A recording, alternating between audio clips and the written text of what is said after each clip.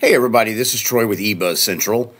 First off, before I start, I want to wish everybody a happy new year. I hope that 2022 has started off well for you, and I hope that the year has nothing but great things for you. And I want to thank you for watching my channel. Thank you for liking and subscribing and, and following me and supporting me. It means the world to me. Today we're going to be taking a look at Psych OS.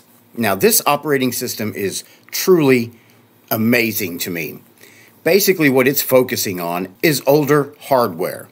Do you have a computer that's 15, maybe 20 years old, and you want to use it, but there's nothing out there that's working for you? This is the operating system for you. PsychOS's methodology is they want to create an operating system for 32 bit systems, i686, plus they want to go even further back to i486 and i386. They even have a version that they're working on called Psych DOS. So, this out of the box experience that you're going to get with this on older systems is going to be amazing. Now, what I do want to go into is it is based on Devuan Linux, which is a Debian based Linux distribution. It is systemd free. That makes it lighter, obviously, and it's already packed with tons of software and scripts, so you have a out of the box experience that is something that is amazing. Now, my gist of this distribution is that they want you to be able to install it and just use it. Now, if there's software that you want to go out there and get, obviously you can get it, and they give you several different ways to get it. It's pretty impressive. Now, if you do boot this into a live system, the default password is Linux. The current release is 3.4.6 and it's codenamed Insanity. The kernel that they're using is 4.9.0 8 RT 686 PAE. Now, it doesn't have a 4 gigabyte limit either, so that comes in handy for those of you who have files that are greater than 4 gigabytes. This operating system can handle it. Desktop environment is XFCE with the ICE window manager, or you can boot it straight into Kodi as a media center. Package management, this is what I was talking about. You can do it by apt, pip, gem, RPM, yum, PackApt, and alien. He wanted to include zypper, but it was just too much. It was too big. It has over 3,000 installed packages, 90 plus Python modules, 390 plus supported file formats. They've customized Thunar actions, and they've customized .bash RC for quickly doing things in the command line for when Climax isn't enough and then DOS software included with retrograb to add more. Now, if you're kind of a retro person, you like the older hardware, you like keeping it around, you like making it useful, PsychOS is for you, and they kind of give you a look that goes along with that. So what I'm going to do right now is we're going to leave their webpage, and I'll be sure to link it in the description below, and we'll go over and take a look at the desktop. Now, if you download PsychOS, throw it on a USB or put it in a virtual machine to take it for a test drive, this is the screen you're met with. I do want to apologize for the black bars on the side. I couldn't get it to go all the way to 1080. It would only go to 1050. So that's where we're at there. It'll boot up with this little message right here. It says notes. Welcome to PsychOS. Before beginning, please take the time to read the documentation. They show you the directory it's in. For ways to contact or see other projects, visit them at their GitLab. And to remove this note permanently, right click the top bar and choose delete. So we're going to go ahead and right click and delete and it is gone. We have a clean desktop. Now, if you look up here, the only thing on the desktop is install. It has a nice background out of the box, but you can go over here and change it if you wanted to. There's the backgrounds that you have to choose from. You could change it just to a plain. You could change it to like that. That's a good looking one. I like that. And then they also have the what I call the electric or neon butterfly. And then, of course, that one's pretty cool looking. I think I'll leave that one up. That's pretty different looking. And then you got other things that you can change here. Folder background, solid colors, style, if you wanted to change the style of the wallpaper from stretch to landscape, scale, zoom, centered, you know what I mean there. Then you go over to menus, and you've got your regular XFC menu layout here. You can include application menus on the desktop, show window list menus on the desktop, just a bunch of different ways to customize it there. Then you go over to icons. You can change your icon sizes if you want. It's at 32. You could bump that up if you wanted to. And as you notice, that icon just got bigger. And then, of course, show icon tooltips. And then down here, you could add home if you wanted to, file system, trash. You can pretty much control what's being shown on your desktop. So I'm going to go ahead and close out of that. We'll go ahead and right click again. And you can open window, create launcher, create folder, create document, open terminal. Let's go ahead and open the terminal. I want to take a look at what kind of resources we're using. I'm going to say it doesn't have HTOP, so we'll go with top. And right now I have 3 gigabytes of RAM issued to this machine. We are using at rest with just the terminal open 233 megabytes. Now that is light, guys. That is something that if you throw it on a 15 to 20 year old PC, you're going to be able to move around in quite comfortably, and it's not going to lag you out to where you just want to shut it down and not use it anymore. Also, if this is something you might want to put on newer hardware, this thing will literally fly. So I'm going to go ahead and close out of the terminal. Let's go ahead and right click back into it. You've got ownership to root, ownership to user, create symlink, download copied URL, arrange desktop icons. Then you have properties. You can click on that and it'll just show you your desktop folder's properties. And then, of course, with it being XFCE, you can come down here to applications and you can access everything right here.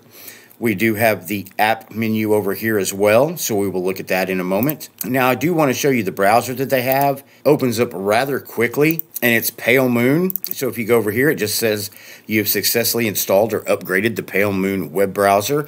Now, right now, I want to see what kind of search engine they have. They are using DuckDuckGo out of the box. And as you can see, eBuzz Central shows up right here. Buy me a coffee, YouTube. So that's what you have. Now, Pale Moon does sometimes offer you to buy what they call, let me go to the home page. And like I said, down here, become a pro, faster loading, no ads, more features. They charge $20 a year. You don't have to pay that. Obviously, if you want to download a different browser, you can. Pale Moon does run well in lighter environments.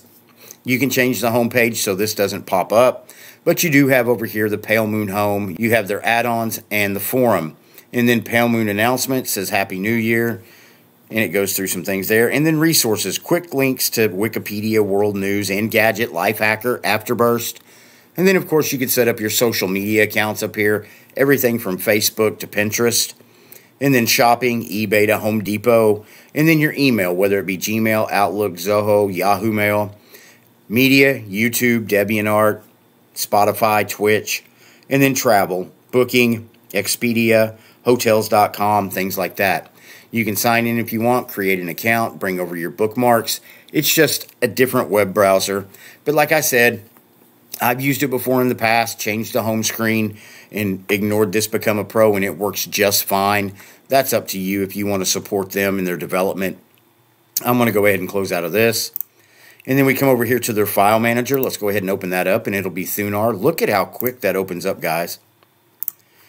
You just click on it and it pops right up. And this is in a virtual machine with just three gigabytes of RAM and two CPUs issued. So if you've got something, like I said, that's 15, 20 years old and you want to throw this on it, I think this is going to make that very functional.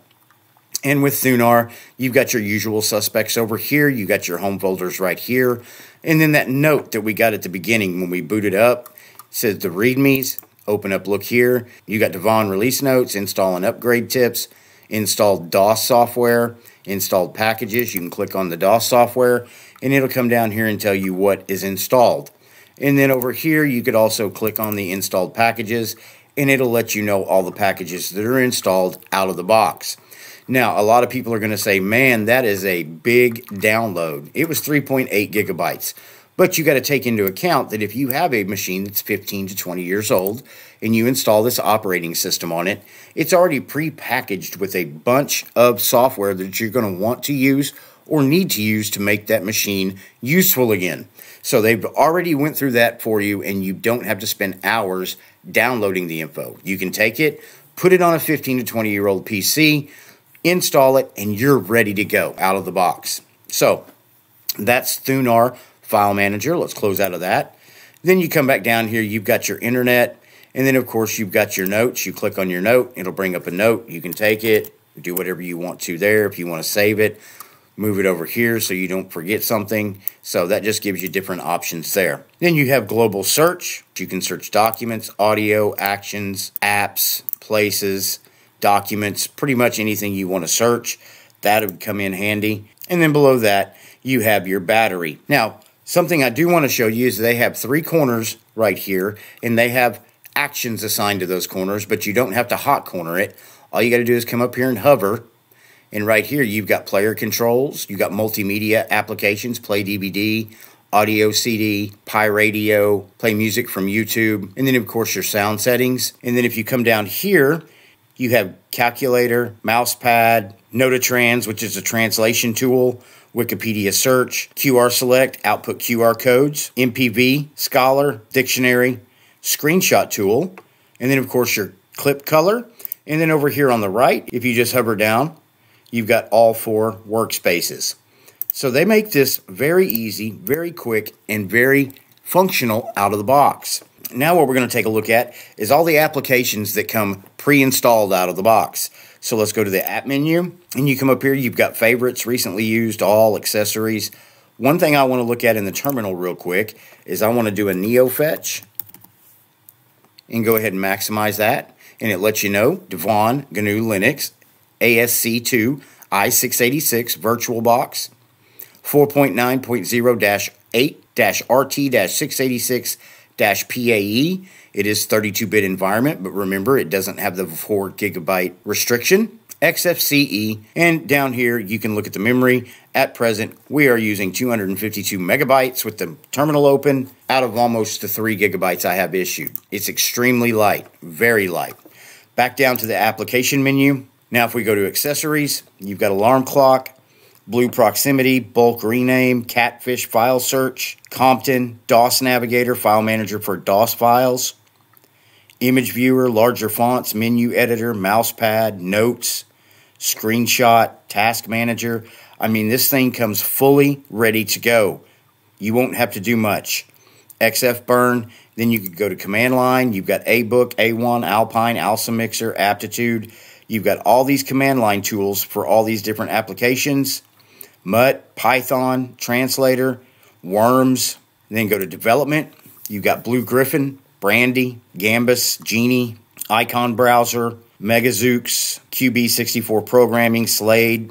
Over to education, BKChem, G Periodic, LibreOffice Math, Fismo, Reinteract, Stellarium, Games, Commodore 64 emulator, Nintendo DS emulator. You've got DOSBox, it's a DOS application emulator. Joystick, you can set your controller up if you want to use it. Kega Fusion, Linux Wars, Minetest, which is a open source version basically of Minecraft. Mupen 64, Rubik's Cube game, Pybik. Interesting. Then you've got QJoyPad. That helps you if for some reason the other program doesn't get your controller set up. RetroArch, Stella for old Atari 2600 platform games. ZSNES for Super Nintendo. What I want to see real quick is how quick Minetest loads up.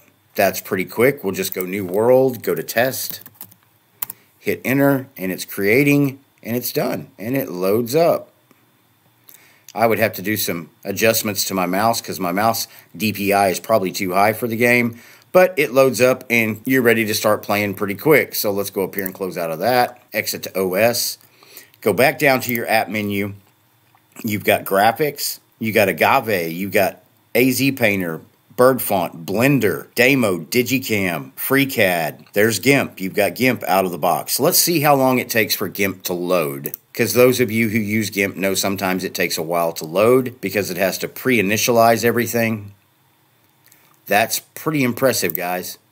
That's really impressive. Okay, now that it has initialized, let's go back over, go to graphics, and let's try loading again and see if it has everything loaded and makes it quicker. Yep, a lot quicker.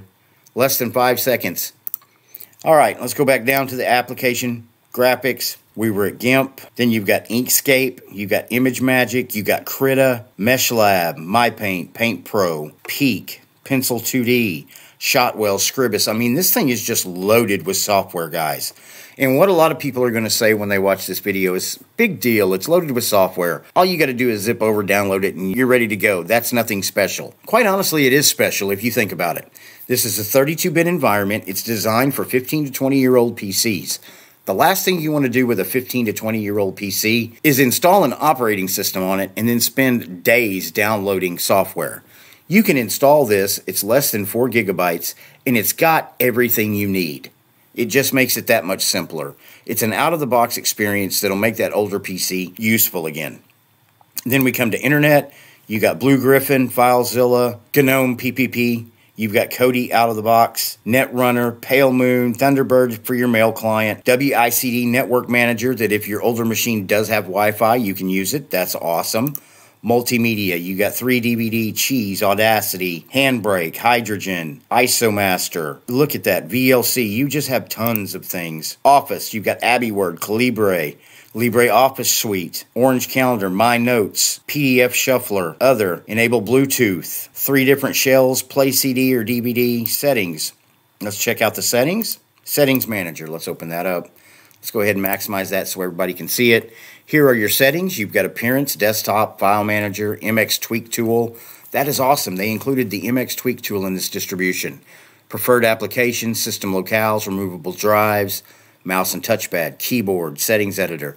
So you have your regular set of settings that you get with most Linux distributions, and this just makes it easier to customize it the way you like. So let's go ahead and close out of that. Back down to the app manager. We've already looked at settings, so then you've got system, then you've got BleachBit, boot, Commodore 64, disk image, eject, gpart, GW package manager. If you do find a Debian package online and you want to download and install it, you can do it right through there. Make sure it's 32 bit though. HTOP, iDevice Manager, Midnight Commander, MX User Manager, MX USB.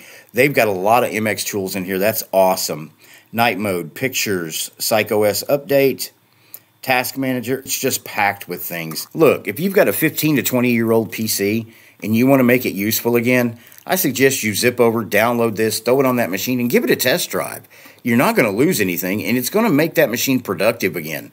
This is extremely lightweight, and if you have a newer machine and you put this on it, it's just going to fly. Let me know what you think about PsychOS. Is it something you might download, take for a test drive, or better yet, throw it on a USB or burn it to a CD and put it on a 15 to 20 year old PC?